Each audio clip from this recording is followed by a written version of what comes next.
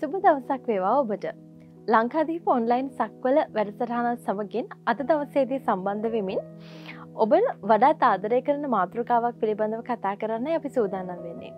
ආදරවන්තයින්ගේ මාසයත් එක්ක ආදරය ගැන වැඩියෙන් කතාවට මාසක අපි කතා කරමු ආදරය ගැන. ආදරය කියන්නේ හරිම සුන්දර හැඟීමක්. ආදරයට වයස්වේදයක් නෑ අධ්‍යාපනයේ බලපෑමක් නෑ එමන් නැත ඔබ ජීවත්වෙන පරිසරේ බලපෑමක් නෑ ආදරය කියන්නේ සරලවම සුන්දරම හැඟීමක් ඔබට විඳින්න පුළුවන්. මනොවිද්‍ය උපදේශිකාවක් විදිහට ආදරය සම්බන්ධ ගැටලු ගණනාවක් අරගෙන මගේ ළඟට සේවාලාබීන් විද්‍යාර්ථයෙන් පැමිණෙනවා. ඉතින් මෙන්න මේ අත්දැකීම් පදනම් කරගෙන මං කැමති ආදරය සම්බන්ධ කාරණාවන් කීපයක් එමන් නැත්තම් යහපත් ආදර සම්බන්ධතාවයක් තියාගැන කොමුදගෙන කරනාව ගැන ඔබත් එක කතා කරන්න. වැදගත්ම දේ. මම දැක්ක මැදකාලීනව ෆේස්බුක් පෝස්ටුවක මෙම ලස්සන කියමනක් තියෙනවා ඒ තමයි ඔබ ආදරය කරන කෙනාට ලබා දෙන්න පුළුවන් වඩාත්ම වැදගත් ත්‍යයාගේ වෙන්නේ ඔබේ පුද්ගලික දියුණුව. ඔබ මොකක් දේ ගැන හිතන්නේ. ඇත්තටම අපි ආදරය කරන කෙනාට දෙන්න පුළුවන් වටිනම දේ තමයි අපි අපිව බලා ගැනීම අපි වෙනුවන් ජීවත්වීම සහ ඔවුන්ට සහයෝගයක් වෙමින් අපේ ජීවිතය ගොඩනගා ගැනීම. ඉතින් මේ පදනමත් එක්ක අපි කතා කරමු ලස්සන ආදර කතාවක් ගොඩනගා ගන්න කොමද කියෙන කාරණාව ගැන. ආදරවන්තයින් දෙදනෙක් එමන් නැතම් ආදරය කරන්න කෙනෙක් තෝරගන්නවා කියන එක ඔබේ ජීවිතයේ ඔබට තියෙන අත්දැකීම් අනුව ඒ කාලසීමාව ඇතුළතදී ඔබට මුණගැහෙන පුද්ගලයින් අතර ඔබ ඔබට වටිනම කෙනෙක් තෝරගන්නවා ආදරය කරන්න. ඉතිං මේ ආදරවන්තයා හෝ ආදරවන්තිය තෝරා ගැනීම. ඔබේ ජීවිතය සියට තුන්සිය හැටකින් ධනාත්මක විදිහට හෝ ඔබ ඉන්නතැනින් පහලට ඇදලදාන තීරණයක් බවට පරිවර්තනය වෙන පුළුවන්. ඉතින් මෙන්න මේ තීරණය ගත්තට පස්සේ. කෙනෙක් විශේෂෙන් ගෑනුලමෙක් පිරිමිලාමෙක්ට වෙන්න පුළුවන් පිරිමිලාමෙක් ගෑනුලමෙක්ට වෙන්න පුළුවන් තමන් ආදරය ප්‍රකාශ කරනකොට එකනාට තියෙන්න ඕන හොඳ දැඩි පෞරුෂයක්. මොකද දැඩි පෞරුෂයක් තියෙන කෙනෙක්ට විතරයි අවංකෝම කෙනෙක්ට තමගේ හදවතේ තියෙන හැඟීම ප්‍රකාශ කිරීමේ හැකියාව තියෙන්නේ. එමනම් එම කරපු ප්‍රකාශය බොහොම ආදරෙන් ලබාගත්තට පස්සේ ආදර සම්බන්ධතාවයක් ගොඩ නැගිලා මේ සම්බන්ධතාව ඉදිරියට පවත්වගෙන යනකොට අපිට මුල් මාස හය එහෙමන් නැත්තම් අපි එකනෙකාව හඳුනාගන්න කාලසීමාවේ කිසිම ප්‍රශ්නයක් අපිට එන්නේ නෑ. එකට හේතුව තමයි අපි මුල් කාලසීමාව ඇතුළේ අපි පෙන්නන්නේ අපේ හොඳම ප්‍රතිරූපය විතරයි. උදාහරණයක් විදිට ගත්තහම අපි අඳින්නේ හමුවීමකදී අපිට අඳින්න තියෙන ලස්සන මැඳුම. ඒ වගේම අපි දාන්න අපිට දාන්න තියෙන හොඳම ආභරණ ටික. ඒ වගේම තමයි හොඳම සුවඳවත්ම පර්ෆියුම් එක තමයි අපි අපි ආදරවන්තය හරි ආදරවන්තිය හරි මුණ ගැහෙන යනකොට අපි පැළඳගෙන සුවඳවත් වෙලා යන්නේ. නමුත් අපි මතක තියාගන්නට කාරණාවක් තියෙනවා. මෙන්න මේ කාලසීමාව මාස හය ඉක්මවලා ගියාට පස්සේ කල්පනිනවා. ඒ කියන්නේ ඇත්තටම මේතාක් අනිත් කෙනාගේ ආකර්ශණය දිනාගන්න සූදානම් වෙලා හිටිය කෙනා තමන්ගේ ඇත්තම ස්වරූපය පෙන්වන කාලසීමාව එනවා. එතකොට මෙන්න මෙතනදි තමයි යථාර්ථවාදය විදිහට තමන්ගේ ටාගට්වල්ට යන්න එම නැත්තන් තමන් එක්ක සුවදායක ජීවිතයක් ගත කරන්න සමබර ජීවිතයක් ගත කරන්න සෞඛ්‍ය සම්පන්න සම්බන්ධතාවයක් ගොඩනගා ගන්නට සුදුසුම කෙනා ඔබට මුණගැහුණද කියන දේ ඔබට පසක් වෙන්න පටන් ගන්න. ඉතින් ප්‍රශ්න එන්න එන්න තම ඔබේ ජීවිතය ආදරය සුන්දර වෙන්න කියල කතාවක් තියෙනවානේ. ඉතින් ඒ නිසා අපි කතා කරමු සුන්දර සම්බන්ධතාවයක් ගොඩනගා ගන්නට පුද්ගලිකව ඔබ විසින් ගොඩනගා ගත යුතු කරුණු කාරණාව නෙමනත්තන් ගති ගුණ මොනවද කියලා. එකක් තමයි අපි අදර සම්බන්ධතාවයකති පුළුවන් තරම් අපේ අනෙත් පාර්ශවකරුවාට ගෞරව කිරීම සිද්ධ කරන්නට ඕනේ. එකට හේතුව තමයි ඔබට පුළුවන්නම් ඔබේ ආදරවන්තයට හරි අදරවන්තයට හරි කියන්න ඔබට බොහොම ස්තුතියි වගේ ජීවිතයට ආවට මත් එක්ක දේවල් බෙදාගත්තට මත් එක්ක ඉන්නවට මට හයියක් වෙලා ඉන්නවට මෙන්න මේ වගේ ඔවුන්ව දිරිමත් කරන ඔවුන්ව අගේ කරන කාරණාවක් ඔබට කියන්නට පුළුවන්නම් මං විශ්වාස කරනවා පුද්ගලිකවම ඔබේ ආදරවන්තයාගෙන් හරි ආදරවන්තියකින් හරි ඔබට ලැබෙන හොඳම අභිප්‍රේරණය එක. ඒවගේම ඔබේ ආදරය බොම ශක්තිමත් එකක් බට පරිවර්තනය කරගන්න මේ වචන ප්‍රමාණය ප්‍රමාණවත් වෙනවා. ඒවගේම තමයි. ගොඩක් වෙලාවට මනොවිද්‍ය උපදේශනය සඳහා එන අපි කියන යුවල යුවලයන් සඳහා කරන උපදේශන අවස්ථාවන් වලදී ගොඩක් වෙලාවට තියෙන ප්‍රශ්නය තමයි සවන්දීම හරි අඩුයි.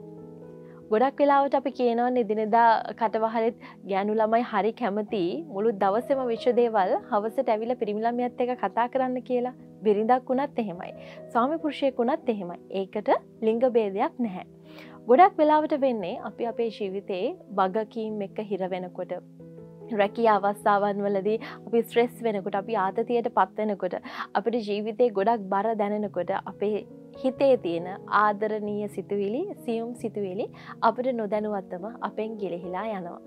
ඒකත් එක්ක ඒවගේම තමයි අපි ආදර සම්බන්ධතාවයක් ටිකක් දුරදිගරගෙන ගිහිල්ලා ඊට පස්ස අපි විවාහ සම්බන්ධතාවයකට යනවනේ විවාහ සම්බන්ධතාවකට ගියම නෛතිකවම ඒකෙන අපේ ඉතින් නෛතිකව මේකෙන අපේ වුණට පස්සේ සමහර වෙලාවට අපට හිතෙනවා අපිට තිබුණ වටිනාකම එමනතන් අපි ආදරය කරන කාලෙ තිබුණු වටිනාකම දැන් අපට නැති වෙලා ගිහිල්ලද? ගොඩක් වෙලාවට මගළඟට පිරින්දෑවරු චෝදනා කරන කාරණාවක් තමයි මගේ මහත්තයා ආදරය කරන කාලෙත් බොහොම ආදරෙන් මාත්තක හිටියා. මට සවන් දුන්න. හැබැයි මං බිරිඳක් වෙලා යාගේ වගකීම් ටිකිෂ්ට කරනකොට යා කිසිම වෙලාවක මට ඇහුන්කන් දෙන්නේ නෑ ඉතින් ඔබට පුළුවන්නම් ඔබ ආදරය කරන කෙනත් එක්ක පුංචි වෙලාවක් අරගෙන එයත් එක කතා කරන්න යට කියන්න තියෙන දේවල් ටික අහන්න මංහිතනවා සන්නිවේදනය කියලා කියන්න ඉතාම හොඳ මෙවලමක් බවට පරිවර්තනය වේවි ඔබේ සම්බන්ධතාවය ධනාත්මක විදියට වර්ධනය කර ගන්න. ඊළඟට මන් තව පුංචි දෙයක් කියන්නම් දැන් ගොඩක් වෙලාවට සමහර ආදරවන්තයින්ට ආදරවන්තියන්ටත් වෙන්න පුළුවන් උපන් දෙන අමතක වෙනවා. ආදරවන්තයින්ගේ දිනය අමතක වෙනවා. එයාලක විවාහ සංවත්සර ආදර සංවත්සර මේ වගේ දේවල් අමතක වෙනවා. හැබැයි ඔබට පුළුවන් නං මේ පුංචි පුංචි දින සමරන්න.